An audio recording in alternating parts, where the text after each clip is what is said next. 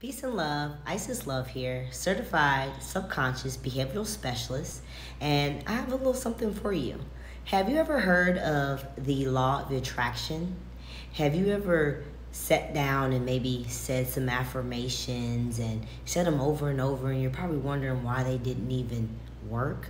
Well, I'm here to talk about harnessing the law of attraction through hypnosis, speaking your dreams into reality.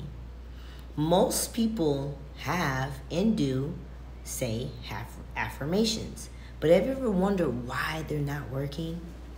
Well, I love that you can do this through hypnosis, right? Because hypnosis gets directly to the subconscious mind.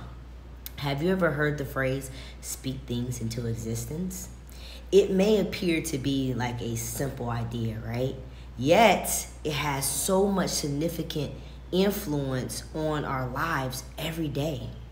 By choosing to talk positively, we we may create more positive experiences since our words have the ability to influence our reality, right?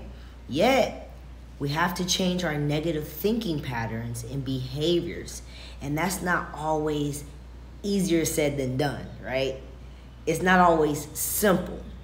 Haste, this is why I always recommend that you do hypnosis because it can come into play and it may help you condition your mind to manifest great outcomes with your words.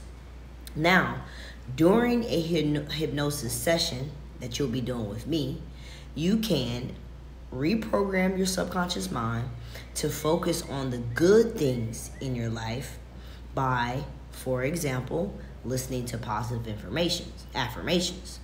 Now, this can help you bring more good things into your life. Don't you, by one chance, please don't underestimate the power of your word. What did they say? The power your, your tongue carries the power for death or life, right? So, with the use of hypnosis, you can begin to speak more optimistically, right? And you can be able to speak more of what you want into existence.